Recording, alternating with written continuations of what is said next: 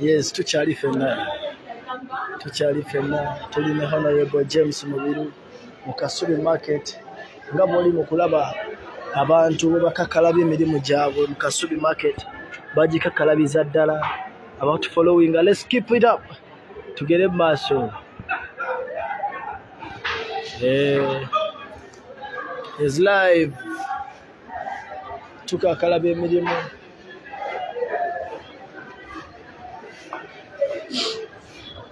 yes.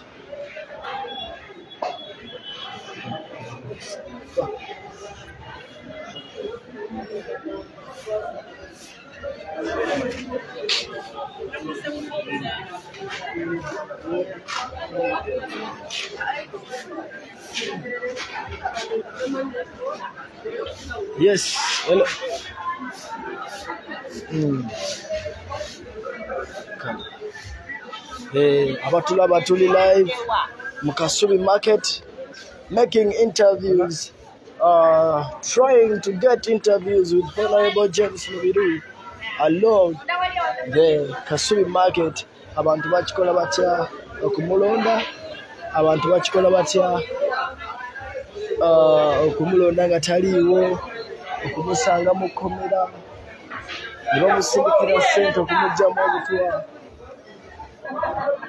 yes abatulaba live tukyali mu kasubi tukipinge up tulabe ekigera mu maaso. Wabula abagamba nti mwenna mwenna mwenna abalonzi mulonde ekintu kye mulabako mulonde omuntu mulonde ekintu omuntu asobola okubakiikirira mulonde ebintu bye mugera mu maaso okulaba.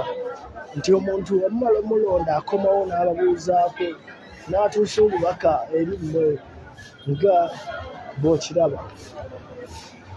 Yes kasubi market is out of work nga bw'okiraba. Let's keep it up tutambulire awo. Abatulaba mwebale nnyo katukomewo twegende mu malango babakama baffe tukomewo. Yes. Uh,